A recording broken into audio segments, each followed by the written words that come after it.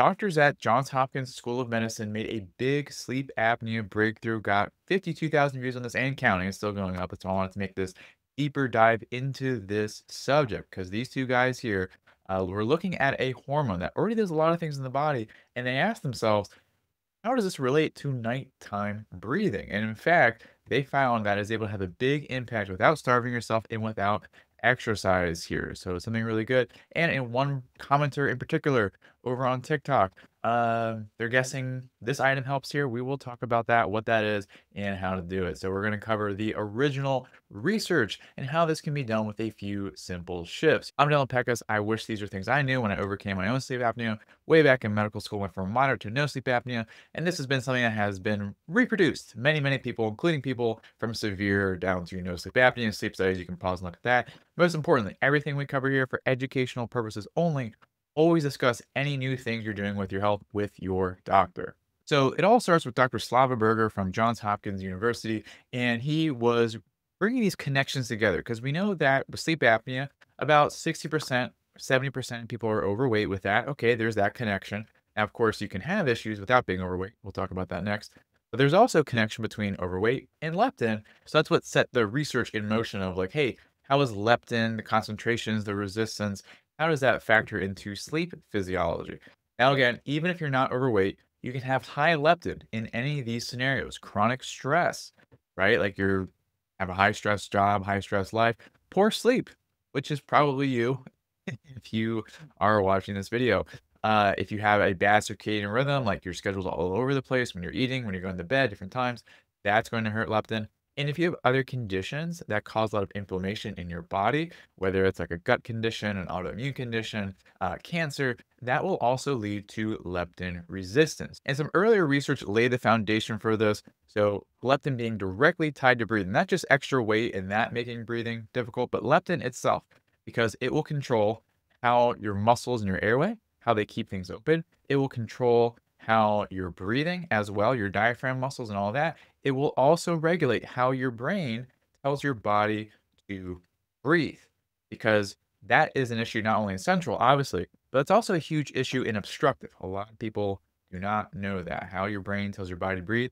Also, a big issue with obstructive sleep apnea because if your brain tells your body to breathe too quickly at times at night, this will actually suction your airway shut at night not fun. That's actually how most apnea events happen. So based on how things have been going in the research, that's when these fellows asked themselves the following questions. They probably didn't. So the first author had the, burning question of what if I got a bunch of mice off the streets of Baltimore, fattened them up to give them breathing problems at night, and then shot leptin into them? That's probably the most crude way you could frame this study. Uh, he definitely had a lot more thorough thoughts. I'm just trying to keep things uh, mildly entertaining. That's really my only goal in these episodes. And then second author here uh, was like, yeah, let's go ahead and do this. He probably didn't say that. or maybe he did. Now, before we get into this research, yes, this is mechanistic studies in mice. You're not a mice, probably not, right? Uh, but we need to be very clear on the role of mice and men in research here. So animal research, it helps us know, is the mechanism, does it exist at all? All right, yes, a mouse is not a human, a rodent's not a human, a pig's not a human but there's many similarities in the biochemical physiological pathways. And in fact, all leptin research started in mice and has been translated into humans time and time again. So it's just a starting point as we'll start our discussion here. And then we want to look at human research. Does the same thing apply in humans more directly? All right. So you can put your little mouse emojis in the comments below. So uh, he got his mice here. So this is the study. You can look it up. Uh, and they fed them mouse snacks. And then they gave them uh, leptin in different forms. We're going to cover when they gave leptin intranasally. So this is probably the easiest to interpret graph out of the entire study. Here you can go look deeper, but I want to keep things relatively simple. And I want to address your attention to here, all right, this SpO2 line. As you can see, you may not need a magnifying glass for this, Leptin, this is higher. When they didn't get leptin, it is lower. All right. And you'll also notice that in leptin, they were able to have more air going in and out. And then another big thing you'll notice is over here. So the EMG, this measures muscle activity. In leptin, it's actually a lot more of a quiet signal. That's because there's probably less labor in their breathing. So to summarize all this, based on this, figure one, when they have leptin and it's working in their body, they're able to breathe more easily, get more air, get more oxygen. Boom, boom, boom. That's very important. And just to summarize the kind of the main conclusions, uh, leptin decreased the number of oxygen drops at night. So those are things you're experiencing uh, with sleep apnea increased ventilation during different phases of sleep. Okay. So bottom line, improved leptin function equal improved nighttime breathing. But here's the thing, right? It's not just about raising leptin. Because how this translates into humans is not just simply raise leptin, it is about overcoming leptin resistance.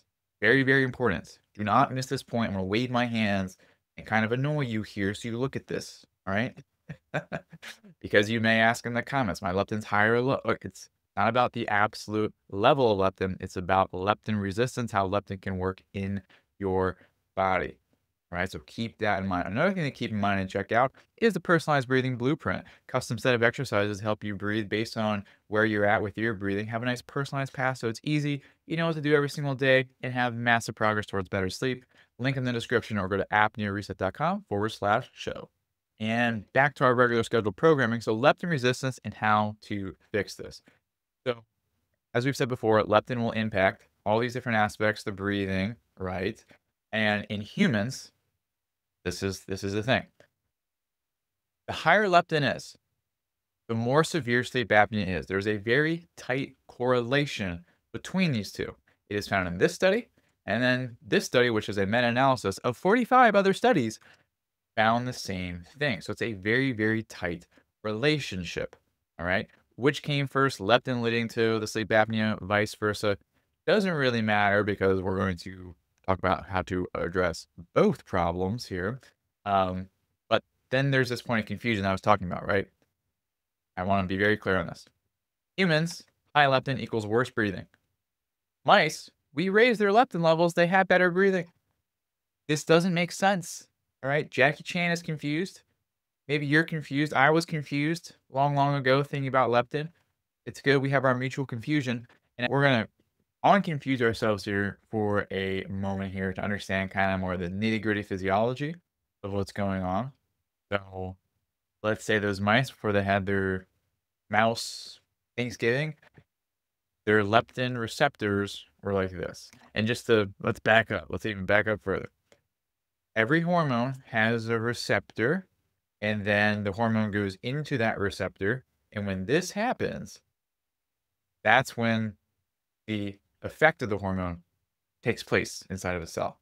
The leptin needs to dock into the leptin receptor, and then everything does its thing.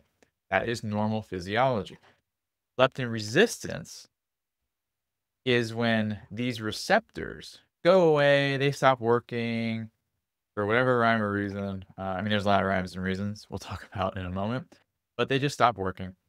And then as a response, because now there's fewer receptors working, your body will make more and more leptin to try to get leptin molecules to interact with few receptors.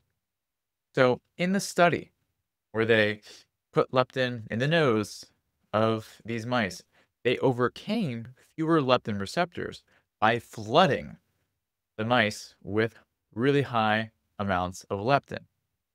Now, it's not a sustainable solution because if leptin goes way up, the body will continue to lower the receptors. So it becomes this like nuclear arms race.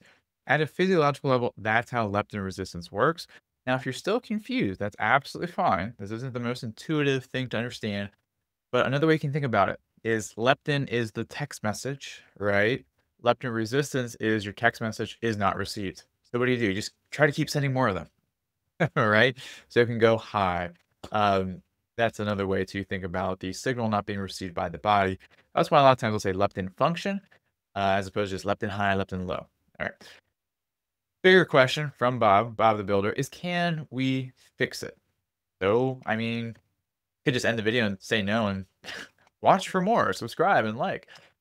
But let's actually be useful here. So if one way destroys leptin function, so in order to return to a good state, we need to reset the receptors and also the amount of leptin we have floating around, right? So we need to allow the receptors to work more properly, and we need to lower the background levels of leptin so the receptors they're out there and they're not getting like bombarded all the time by leptin. So it's just reversing that, okay?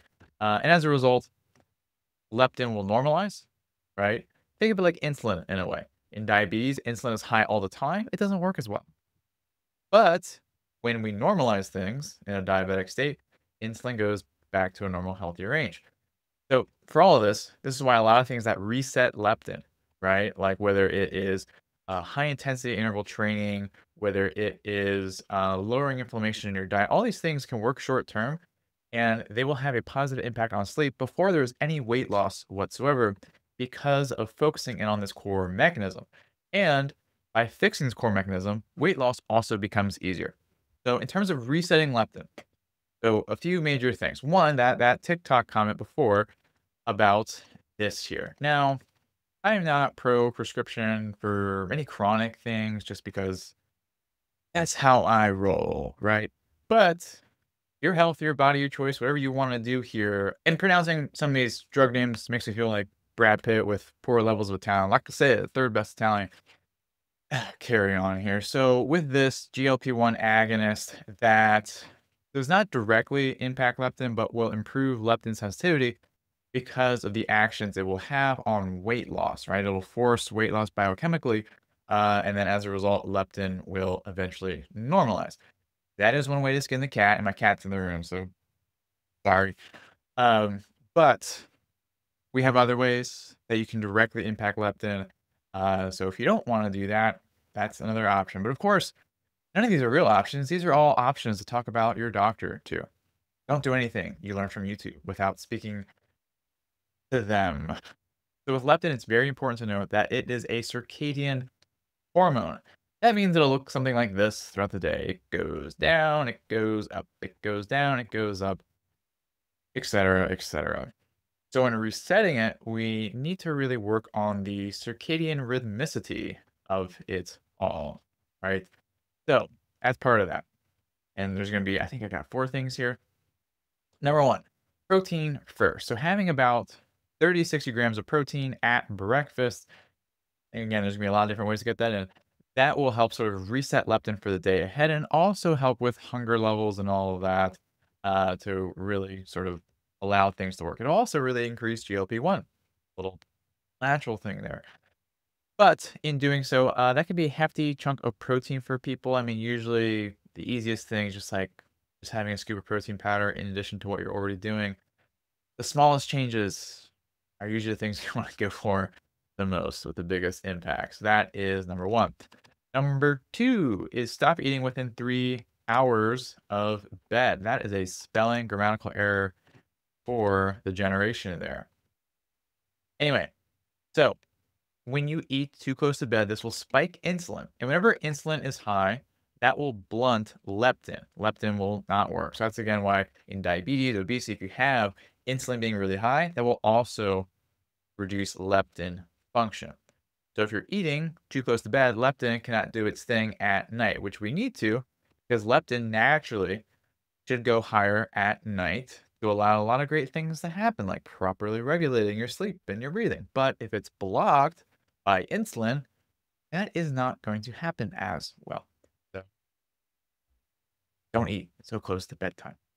Number three, I feel like I'm out of order circadian rhythm wise. Yeah, I got a little out of order. Got out of my rhythm, I guess. Number three is high intensity interval training two three times a week. So this isn't so circadian minded, uh, but how it works, it stimulates a different pathway, AMP kinase, AMPK, and that will regulate leptin and so on and so forth here. So, I mean, kind of boring. Now back to the circadian aspect. So every time you can have a strong circadian signal that sets your rhythm, that will then help leptin dramatically. One of them being is getting light in the morning here, all right? Especially the closer to when you wake up is going to be better. So Uh, maybe if you heard my my dog bark, we have some people doing some uh, fun stuff on the on the vents today. Um, really thrilling. She'll bark in the morning. That's usually my signal to get up because roosters, my neighbor's roosters, also are not enough. But that allows me to consistently wake up. She has a good rhythm because then, usually within 10, 20 minutes, the sun is rising and that sunlight hitting my eyes is going to tell my body it's a certain time. And that's going to help set hormones because the cascade of all these hormones is going to come from your body's hypothalamus that's in your brain. And your hypothalamus is connected, you know, through your eye to the external stimuli in your environment. So if you're getting morning light and you're not just like you know, on your cell phone first thing in the morning, unless you're checking my all my posts and liking them. Uh, no, that's still bad. Don't do that before the sun is up. Getting about like three, five minutes unfiltered, right? No sunglasses. Don't stare at the sun. Silly having to tell you that. Uh, but just having that ambient light coming in will help set your rhythm, help with leptin, and everything will work a lot better from there. Now, one of the biggest things that will help with leptin, as we said, a circadian aspect to it, is having good sleep. Right? We said that's one of the reasons you can have leptin resistance by itself. Was just bad sleep can lead to leptin resistance, and that's why bad sleep will also lead to weight gain because of leptin as that mean mediator. And being able to sleep better, oftentimes, if you're here, you, you need to be able to breathe better, right? And a big part of that, I mean, in addition to everything I've ever talked about ever, the fastest path is our personalized breathing blueprint. Pretty much, you just have a custom plan set out for you. So day by day, you know exactly what you're doing. And it's done in a way where it's matched to you and your needs. So you know or you're actually on a very good progress path to make the most amount of progress in your breathing in the least amount of time and have that reflected in better sleep. And of course, get some other fun things, you know, direct support for me, any questions you have, and holistic protocols there.